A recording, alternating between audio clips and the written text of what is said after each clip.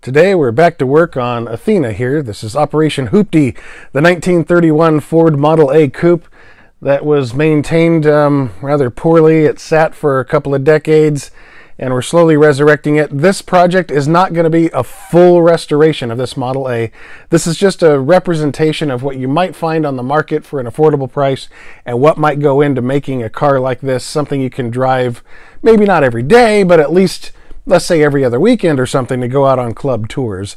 So that's what we're doing with this car. And people have been having lots of questions in the videos. The last one, for example, they're asking, what's that aluminum strap under the car? What's that part? What's why is there a nine millimeter wrench hanging from the water? And okay, go back in the videos. If you have questions, just go back, watch this from the beginning. This is the fourth video in the series, and you'll see all your questions will be answered, I'm sure. So anyway, uh, some new things happening. First of all, I'm going to install that plug finally and take my tool out where the um, oil pump is. And uh, Carmen Gianforte sent me this wonderful set of ground-in screwdrivers. And I found out that he was absolutely right. And if you have the exact right screwdriver that fits the exact right slot, oh, it's magic. It just plays wonders to my autism. It's fantastic. Thank you, Carmen. I'll be uh, using that today. So some parts came. I've got more of those plugs that I should have lots of in the shop, um, some gaskets. But the main thing is a wiring harness. This car's wiring is atrocious, as you probably saw in the first and second videos, actually in the third video too. And so this car is going to be the recipient of a brand new wiring harness, maybe not in this episode, but as we work on the car, everything that I'm taking off the car, we're keeping it in a box. It's probably going to turn into several boxes. So uh, people have already called dibs on some of the things on this car, like these ridiculous eyelids on the headlights and people are already calling dibs on the parts on the car so that's great that's fine Every, everybody is uh, calling dibs on what they want. Who nobody's called dibs on the uh, threading die uh, used as a lug nut yet but eh, we'll see what happens. The day is, is long and we're only getting started here so welcome back to my shop where safety is always the highest priority. I'm going to start by installing this and getting my tool back and then we're going to get started inspecting brakes, packing wheel bearings, try and get this car drivable, maybe, maybe even take it for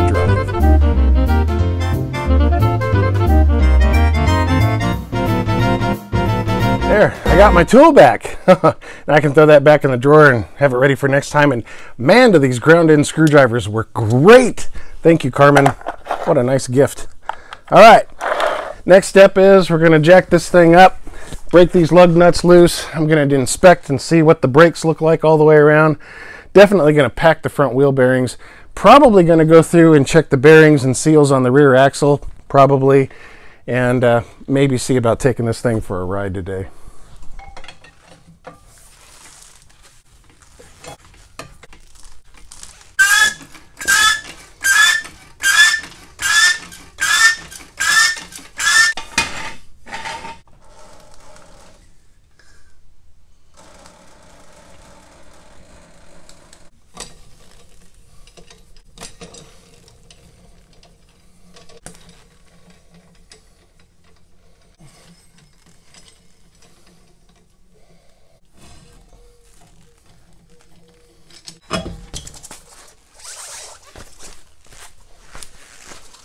Fancy.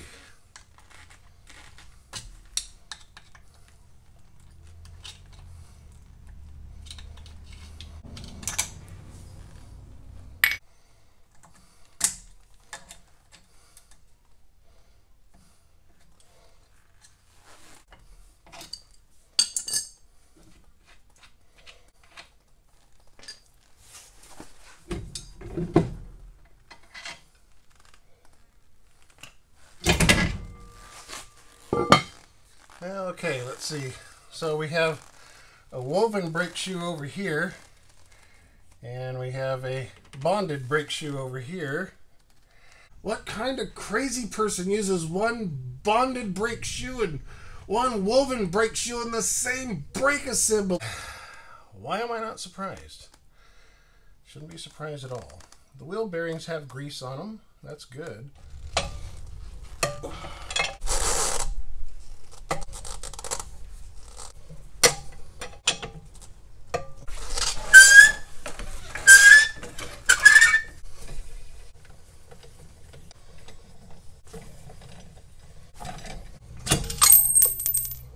jewelry.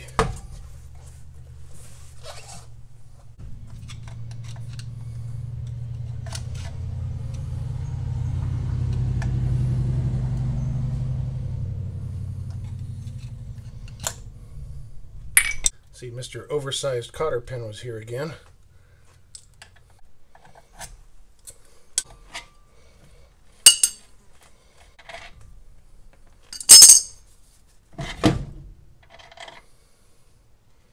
Plenty of grease on this one.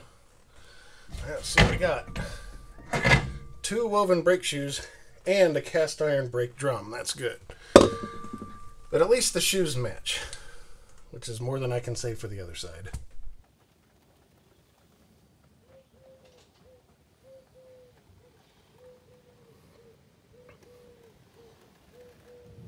So the question is, should I bother getting into the rears and check the rear drums too?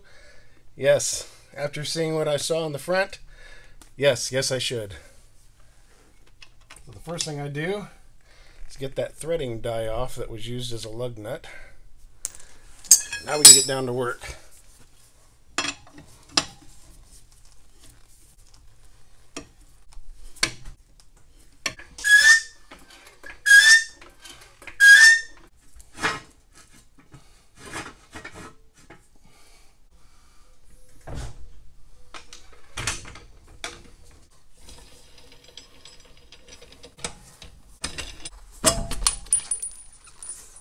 We get a look at these studs, now I can tell why there was a threading die on this instead of a lug nut. That was stripped out. The lug nut just slips right over that. Probably change this stud out. Either that or I'll find another nut to fit it. I'm not going to put a threading die back on. At least, I don't think so. There's a broken piece. Oh, well that wasn't very tight, was it?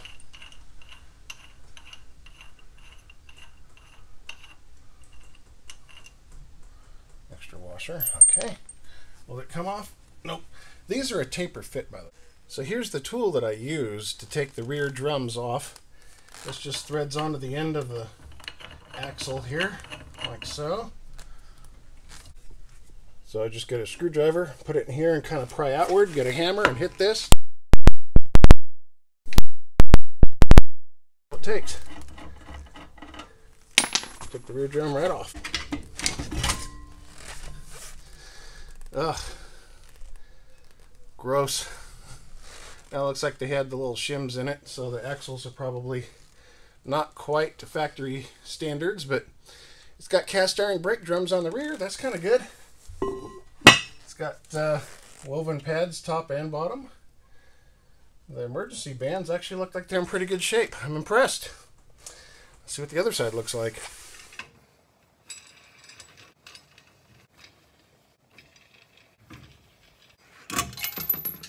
jewelry.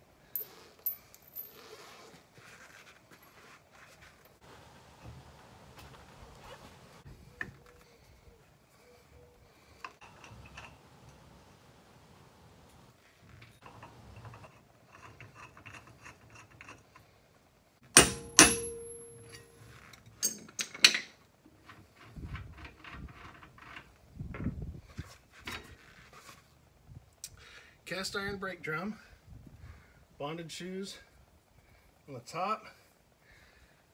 Yep. Feels like we got decent brake shoes both sides. Wow.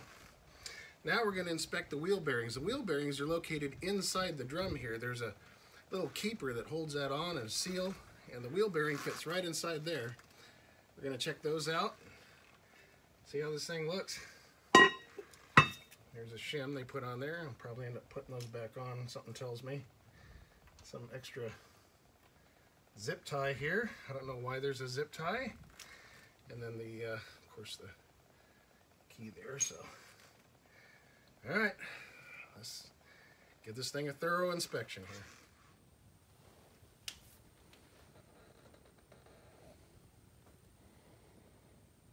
Okay, so everywhere else around the car, it really doesn't look that bad. It's not perfect, but it's not bad.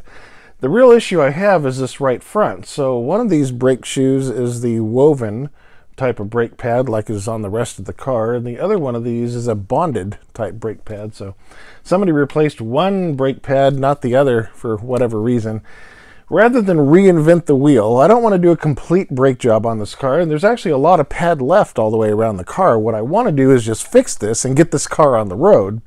So what I did is I went ahead and pulled some old backing plates out of my junk pile. And what I'm going to do is I'm going to measure and see how much pad is left on this.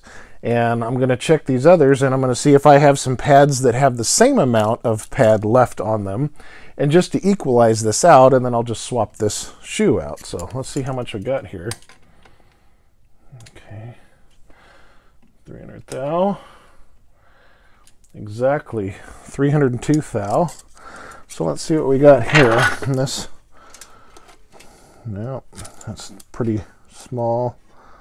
319 thou there. Now this shoe's pretty chewed up anyway, and it's also a lot thicker. So let's see what this one looks like. Oh, exactly 300 thou on that one. Let's see what it looks like here. Oh, yes. Let's see what this pad looks like. Yeah, a little low.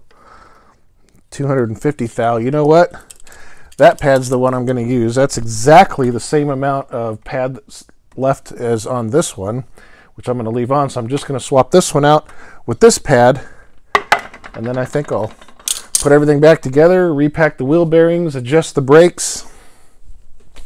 I think we might actually be able to take this for a drive. I don't think I need to change the wiring harness just yet. I'm going to change the wiring harness. Trust me. It's it's really bad. But it's getting dark, and uh, to be honest, I've got a lot of work left to do on this thing. So I'll tell you what. Normally I don't do this, but I'm going to make an exception this time. I'm going to make this a two-part video. So part two will be next week, and hopefully that'll give me enough time to get all this done and do the brake adjustment and all that kind of stuff. So I'll tell you what, for now, thank you so much for watching part two next week, and hopefully this thing will actually be ready to drive. We'll see what happens. Thanks for watching. I'll catch you next week for part two.